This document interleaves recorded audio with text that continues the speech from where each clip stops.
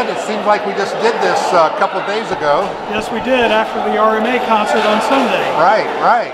Uh, wouldn't you like to have a band like this in school? I mean, oh, wouldn't, it, wouldn't it be wonderful? I tell you what, I think the Christmas spirit has come to the community band because I think this is one of the strongest performances you've done. Now, I don't know that much about band music other than, you know, I was in the Air Force band. Right. But um, I thought it sounded great, you know, considering everything, and it was really good, but it was strong.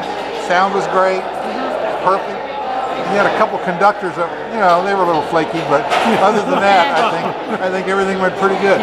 So let's tell you what. What give me uh, your expression or something about the band tonight. What do you think? The band played exceptionally well. I felt uh, they were bones in a nice Christmas spirit and playing very well. I think they did. They had a good Christmas spirit. Right. And, and they got you up there for a couple of them too. Yeah, so. they did.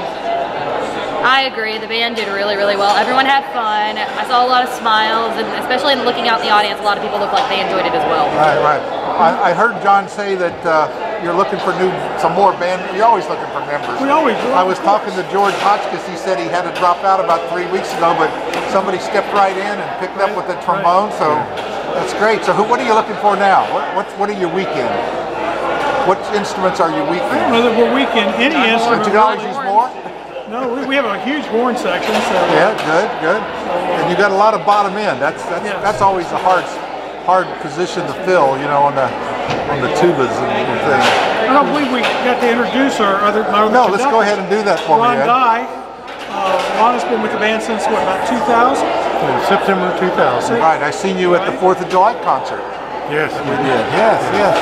And then Ron, Ron's also uh, involved with the Riverton Winds over at Riverton United Methodist. So they just did a concert uh, last last week. Is that right? Yeah. Right. Sunday night. And this is Kristen Fristoe. And I, Kristen's an interesting story. She started playing with us when she was in high school. Uh, she was the uh, drum major at Skyline High School went on to major in music at uh, Shepherd University. Right. Is back here teaching at uh, Leslie Fox Keyser Elementary, helping with the Skyline Band, and is also back with the community band. Well, that's great. So, well, like I told you uh, the other day, and the students we talked to, these people, your members, have taken their high school band and take, or in college and just carried it with them their entire life. Yes, they have. And uh, my son, you know, was in the community band for for a while when he lived here, and he still plays a little bit. But you know, I was telling my other daughter, she don't play at all. we have we have everything from high school students or, or right. high school students. Two of my alumni from here at RMA right. are playing in the band tonight, and uh, right up through uh, cradle to grave. Some of, some of us, some of us older guys. Yes, that's right. But I think, like I said before, I mean the music is just something that you just take with you your whole life, and just and you could really see the spirit tonight in the band. I think they did a great job, great job. So what what's planned for next year? Give us the band plans. Well, we, we have our, our summer season that starts, I don't have dates yet, but uh, starts the, usually the, about the second week in June. We'll do a couple of gazebo gatherings. Right. And then uh, we have the annual Independence Day con uh, concert which this year is going to be back at the 4-H Center. Right. Uh, they've, they've got everything together for that. That's and it's good. going to be actually on uh, July the 5th. Okay. July the 5th at the Northern Virginia 4-H Center with fireworks.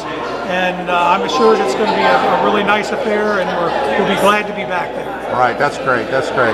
Well, we really appreciate everything you do for the community. I mean, the band is great. I think it helps bring people together. We had a good crowd.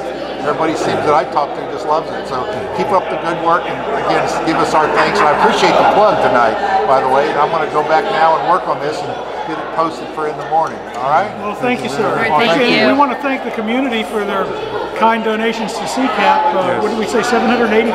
That's really good. Like from the audience tonight That's great. CCAP. I mean, CCAP could use it. I'm yeah. Sure they could. They do great work here. All right. Well, thanks again. Nice meeting you guys. Appreciate it. Thank you.